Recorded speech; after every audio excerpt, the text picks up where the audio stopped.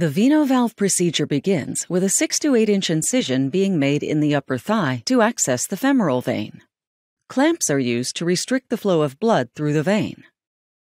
The surgeon then makes a 2 to 3 centimeter lengthwise incision called a venotomy along that portion of the vein. The VenoValve is then inserted into the vein through the incision. Next, the stabilization ring of the inflow VenoValve frame is tacked to the femoral vein wall and the incision in the vein is closed. Once the clamps are removed, blood flow is restored to the vein.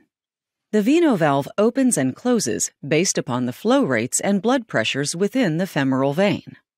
When the calf muscle flexes, pressure within the femoral vein increases and blood flows up the leg and through the VenoValve. When pressure in the femoral vein decreases, the VenoValve leaflet deploys, closing the valve and reducing the backwards flow of blood called reflux.